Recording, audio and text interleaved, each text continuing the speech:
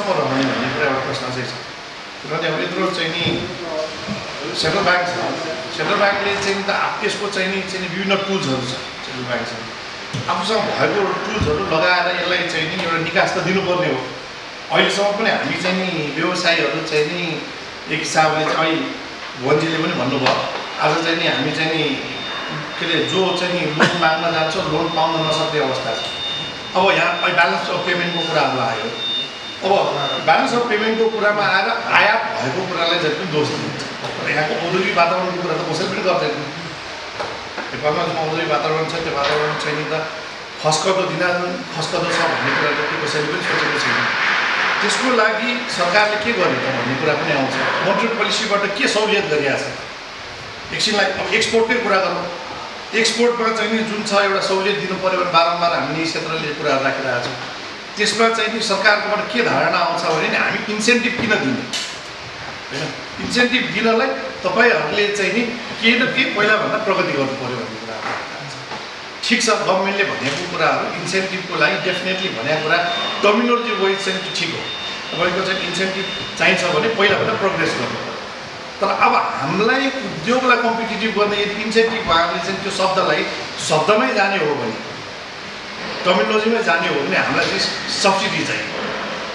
किनभने नि हामी चाहिँ नि जुन नेपालमा उद्योग छौँ हाम्रो कम्पिटेटिभ एडभान्टेज कति छ? हाम्रो चाहिँ कम्पिटेटिभ एडभान्टेज किन कम छ भन्ने कुरो हामीले सबैले थाहा भएको कुरा हो। हाम्रो र मेटेरियल एभाइबिलिटीको कुरा हो।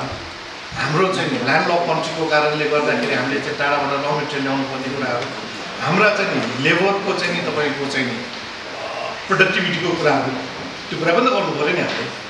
कुराहरूले के छ भने पनि हाम्रो अहिले चाहिँ यो अनप्रिडिक्टेबल सिचुएसन अब नेपालमा भइरहेको छ बारम्बार होइन? यो जुन छ अब यो अहिले ब्याज दरकै कुरा भनौँ अब त्योभन्दा अगाडि भएका चाहिँ नि नाकाबन्दीको कुरा गरौँ विभिन्न कालखण्ड चाहिँ झन्डै बिस वर्षको चाहिँ नि राजनैतिक अस्थिर द्वन्द्वकाल राजनैतिक अस्थिरताको अस्थिरताको परिस्थितिहरू भनौँ। यी सबै परिस्थितिहरूलाई पनि त विचार गर्नु पऱ्यो नि त। यस्ताले चाहिँ नि सरकारले चाहिँ नि ब्यालेन्स अफ पेमेन्टको लागि रियल्ली सिरियस छ भन्यो भने उद्योग क्षेत्रलाई चाहिँ नि अब चाहिँ नि सब्सिडी दिनुपर्छ। ठिक छ? इन्सेन्टिभ हिजो हामी इन्सेन्टिभ भन्थ्यौँ इन्सेन्टिभ माग्थ्यौँ। अब टर्मिनोलोजी वाइज जाने हो भने उसले चाहिँ नि सब्सिडीको हिसाबले जानु पऱ्यो। क्यापिटल सब्सिडी दिनु पऱ्यो। त्यसैले मौद्रिक नीतिले औद्योगिक वातावरणलाई अगाडि लानको लागि चाहिँ नि क्यापिटल सब्सिडी दिनुपर्छ भन्ने मलाई लाग्छ एउटा कुरा। अर्को कुरा चाहिँ नि जुन छ नि अर्थतन्त्र र बजारलाई चाहिँ जोड्न एज अ मिडिएटरको रूपमा ब्याङ्कले भूमिका खेलिरहेको छ होइन? अब ब्याङ्कहरू चाहिँ नि जुन छ अब नेपाल सरकारको चाहिँ नि विधाहरू धेरै छ। नेपाल सरकारको विधाहरू धेरै छ। त्यो विधाको कारणले ब्याङ्कहरू पनि त्यही अनुसारले बन्द हुने गरेको छ। भन्दाखेरि बजारमा बिजनेस एक्टिभिटी भइरहेको बेला ब्याङ्कहरू बन्द हुन्छ नि त्यो कुरालाई पनि मलाई के लाग्छ भने ब्याङ्कको चाहिँ नि विधाहरू चाहिँ कटौती गर्नुपर्छ त्यसले प्रोडक्टिभ टाइम चाहिँ नि बढाउने किसिममा त्यो इन्भाइरोमेन्ट एउटा बनाइनुपर्छ जस्तो लाग्छ। अर्को कुरा यहाँ थुप्रै छ म एक दुईवटा पोइन्ट मात्र राखेर चाहिँ तिमी आउँछु। अलिक अलिकति अटोमोबाइलको म अलिक डिटेलली चाहिँ भन्न चाहन्छु किनभने म मलाई चाहिँ यहाँ चाहिँ अटोमोबाइल सेक्टरबाट नै आज आमन्त्रित गरे हुनाले मैले आफ्नो कुरा चाहिँ राख्नुपर्छ। जस्तो यो साप साफ्टामा चाहिँ नि हामीले चाहिँ एलसी खोल्यो भने भने चाहिँ नि तपाईँको चाहिँ साफ्टाको सुविधा पाउने। अरूमा गरौँ टिटी ड्राफ्टबाट चाहिँ नि पठायो भने भने साफ्टा सुविधा नपाउने भनेको कुराहरू यो सरकारले के भन्न खोजेको के गर्न खोजेको हामीले बुझेनौँ कि बेसिकली टिटी ड्राफ्टबाट ब्याङ्किङ च्यानलबाट यदि हामी पेमेन्ट पठाउँछौँ भने त्यो भनेको चाहिँ हामी चाहिँ फर्मल ट्रेड गरिरहेछौँ फर्मल ट्रेडलाई प्रोत्साहन गर्ने कि नगर्ने त?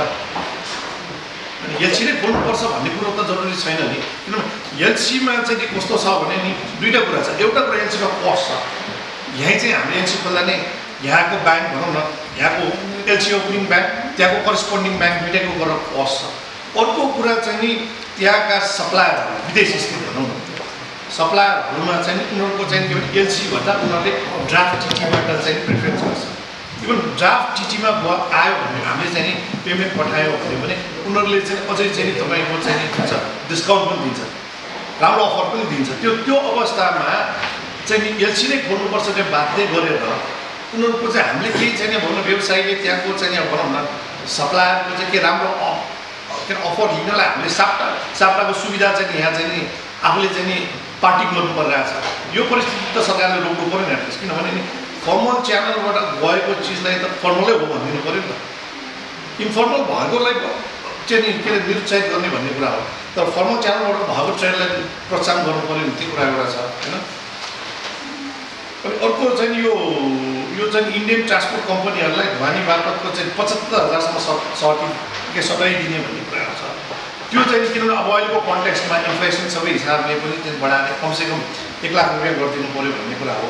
र अर्को एउटा चाहिँ नि म के भन्छु भने यो म धेरै वर्षदेखि भन्न चाहिँ भनिएर आएको छु यत्रो फ्री मार्केट इकोनोमी दुई हजार अडचालिस सालमा लागू गरेर नेपालमा चाहिँ नि विदेशीलाई मात्र बोलाएको बोलाइछौँ र हामी नेपालीलाई पनि छ नि विदेशमा लगानी गर्ने बात अवसर दिनुपर्छ।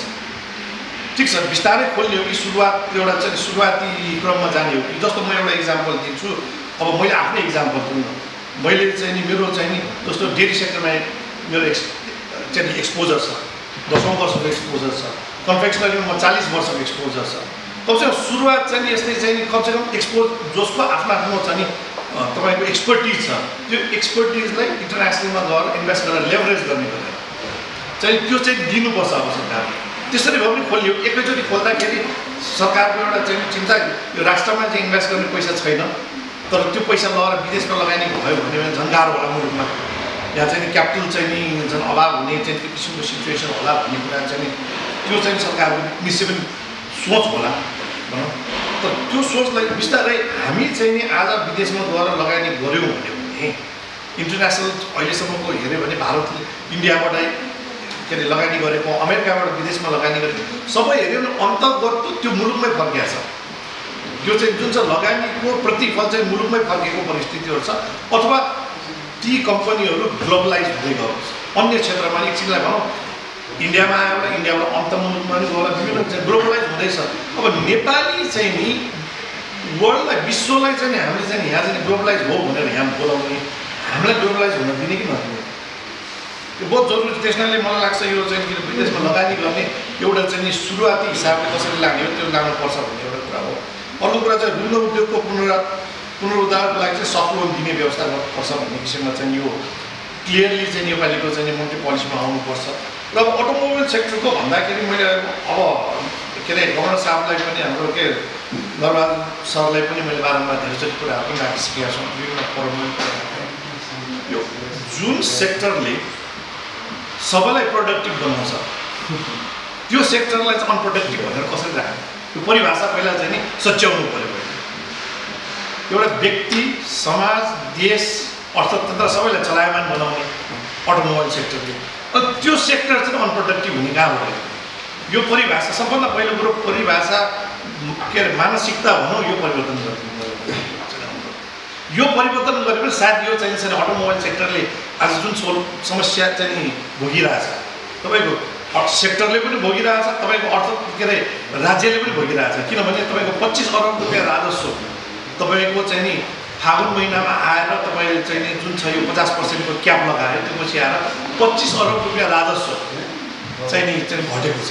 किनभने गत आर्थिक वर्षको चाहिँ नि मूल जुन समय थियो अहिले असारमा आउँदा मूल मेन बिजनेस हुने समय त चाहिँ त्यो चाहिँ गइसक्यो हुनाले अनप्रोडक्टिभ सेक्टरलाई चाहिँ त्यसलाई चाहिँ प्रोडक्टिभ हो भन्ने कुरा महसुस गरिदिनु पऱ्यो भनेपछि त्यसमा सबै आएको लाग्यो भने त्यो त्यसरी नै आउनुपर्छ जस्तो लाग्छ मलाई त्यस कारणले चाहिँ यो क्याप लगाएको जुन छ त्यो क्याप चाहिँ नि तपाईँको हटाउनुपर्छ र अहिले चाहिँ नि ज्ञानदारले भन्नुभएको जस्तो चाहिँ जुन छ नि यो वास्तविक चाहिँ नि कुनै पनि रिक्स सेक्टर के के कुन सेक्टर कस्तो छ त्यो सेक्टर कुन छ नि त्यो रिक्सको चाहिँ नि इभालुएसन गर्ने लेन्डरलाई नै दिनुपर्छ कि?